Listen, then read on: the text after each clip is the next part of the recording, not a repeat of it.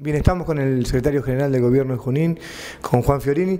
Bueno, Juan, eh, ayer fue una, jornada complicada en la ciudad con la tormenta y bueno, un trabajo importante de aquí del municipio con varias áreas afectadas, bueno, diferentes barrios donde sucedieron algunos inconvenientes. Sí, lamentablemente tuvimos una jornada complicada por obviamente el temporal que nos afectó por la tarde de ayer, eh, con lluvias fuertes, granizo y también vientos. Estos vientos fueron los que nos provocaron los, mayores eh, problemas porque se cayeron algunos postes, algunos algunos árboles y algunas ramas y también el viento provocó que algunas casas de algunas familias fueran afectadas.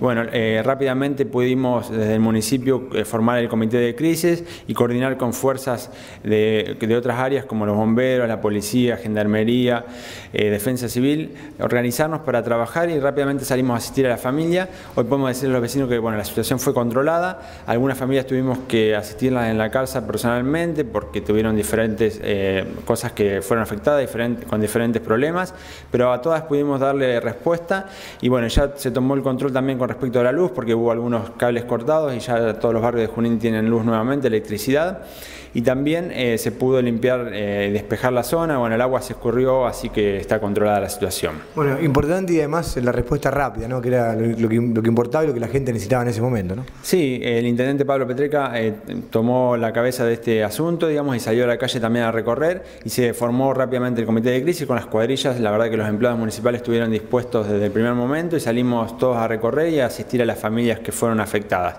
También la provincia estuvo desde el primer momento contactadas con nosotros, desde Defensa Civil y la gobernadora Vidal para ayudarnos y nos dio respuesta rápidamente, nos están ayudando con materiales para asistir a las familias. Así que en ese sentido muy conforme, se puede trabajar coordinadamente con las demás fuerzas y también con el gobierno provincial. Bueno, obviamente si algún vecino tiene algún inconveniente que se puede comunicar acá al municipio como siempre, ¿no? Sí, está siempre abierta la línea del 103, que es la línea gratuita y corta para poder comunicarse con el municipio, con Defensa Civil. Ahí tenemos un equipo de trabajo que está rápidamente eh, atendiendo las llamadas y derivando al sector correspondiente. Si hoy en el día de hoy todavía se ven familias afectadas o ven alguna situación de emergencia que podría afectar a alguien, tienen que comunicarse al 103, que es gratis, y rápidamente vamos a estar asistiéndolos.